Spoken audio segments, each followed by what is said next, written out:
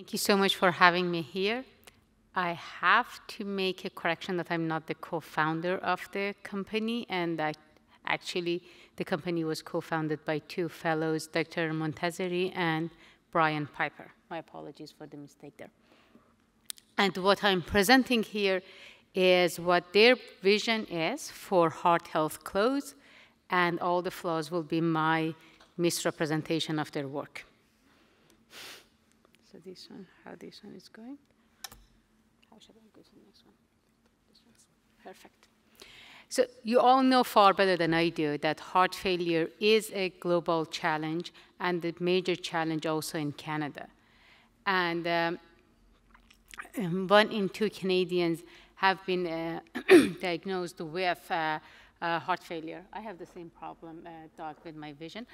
Uh, so, and it's the third uh, common reason for hospitalization. But one of the biggest challenge with heart failure is that 21% of those who are uh, admitted to the hospital for heart failure will be readmitted within a month. And one of the major symptoms in this population is shortness of breath due to extra fluid in the lungs. And when it comes to the heart failure, uh, as you know, uh, uh, one of the uh, main reasons or symptoms of the heart failure are extra fluid either in the extremities like legs and arms or in the, in the legs and arms or in the lung due to left or right heart failure. And usually what the current practice is, is to ask the uh, people live, uh, who are living with heart failure to monitor their weight. And if there is an increase or sudden change in their weight, that represent a change in or extra fluid in the lung.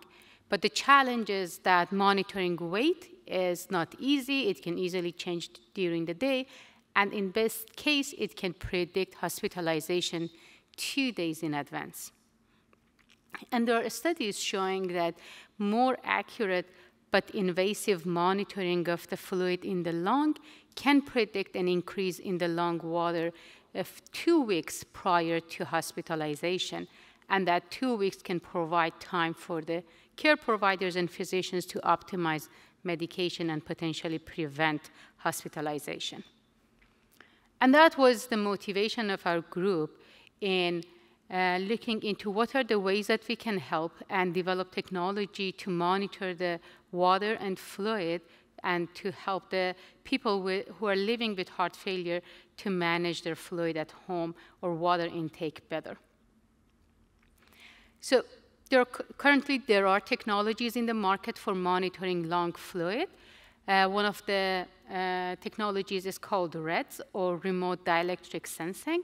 That is basically, uh, it's like a device around the chest, and what it does, it uh, measures the radio frequency uh, dielectrics uh, component of the radio frequency signal.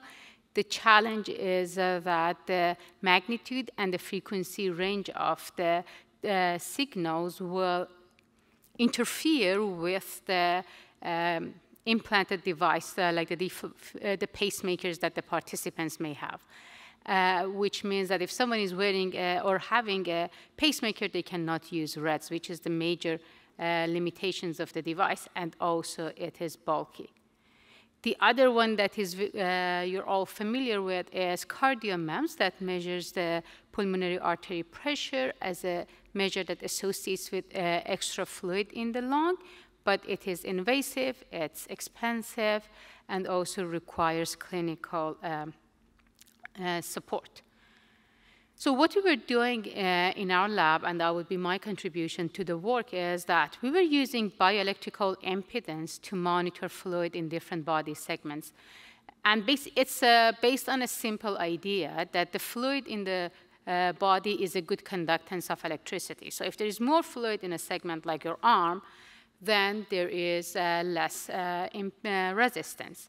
Uh, like, for example, if there is more fluid in the lung, then the resistance will be less. If the fluid decreases, the resistance will increase.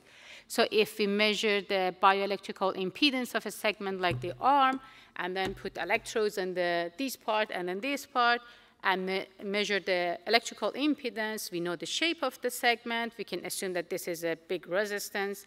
Uh, like, and then by knowing the shape, like the circumference and the length of the segment, we can measure or estimate the fluid in the arm. Like if we measure it like that, we get the uh, estimate of the fluid. If I raise my arm, the fluid is coming out of my arm because of the gravity and the resistance will increase. So that's sort of the idea uh, that we developed. We put gel electrodes on different body segments and we showed that we can measure the fluid uh, continuously in different body segments like the leg, chest, abdomen, and neck. And both during, and then we did a lot of studies while people were awake or uh, asleep. But the main challenge is that it still requires having these gel-based electrodes on the body segments, and it's not convenient or easy to do at home. So the idea of the company was how we can move from the gel-based electrode to dry electrodes that he can embed in a textile and finally in clothing to monitor fluid in body segments. Um, and these are some examples of the uh, sort of prototypes that we developed to monitor fluid in the legs or in the chest.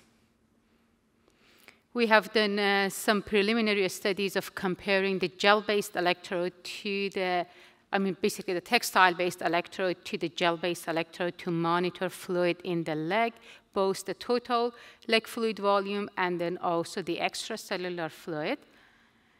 We have also done some experiments to see how uh, again, comparing these two types of electrodes, the uh, dry textile-based electrode versus the gel-based electrode, to monitor fluid in the leg and chest from evening to the morning uh, in response to like longer-term changes in the fluid.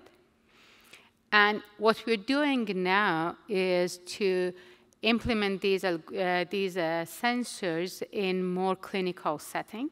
So in one uh, collaboration with Dr. Susanna Mak in her right heart catheterization lab, what we're doing is in uh, patients who are referred for assessment of the pressure uh, with the right heart catheterization, we are measuring the fluid volume with the gel-based and also uh, in near future with the textile-based electrode to see how the bioelectrical impedance measurements are associated with the pressure measurements that could be uh, correlated with the fluid in the lung.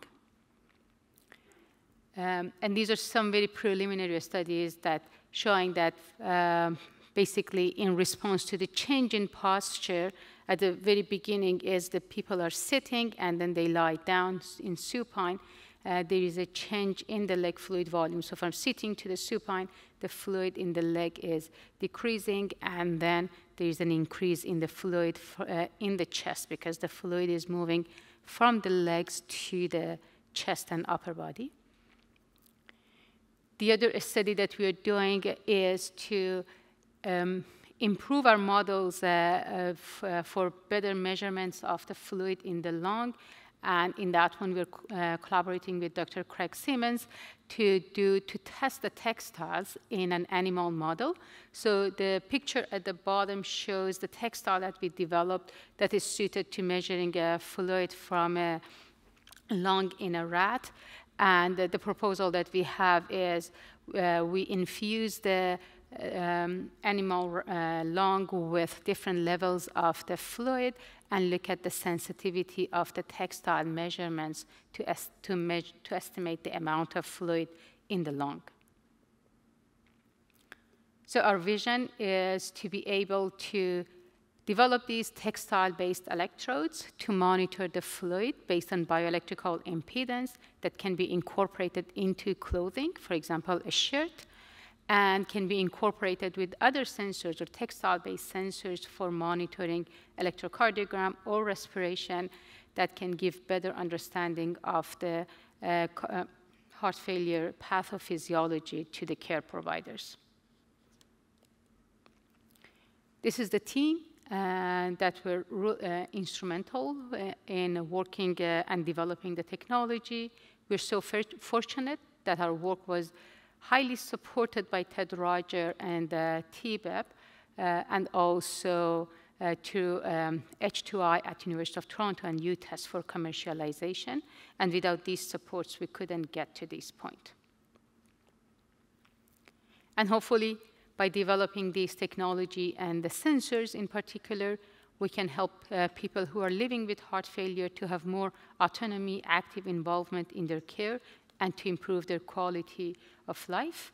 And for healthcare uh, system, to reduce readmission and healthcare cost. Thank you.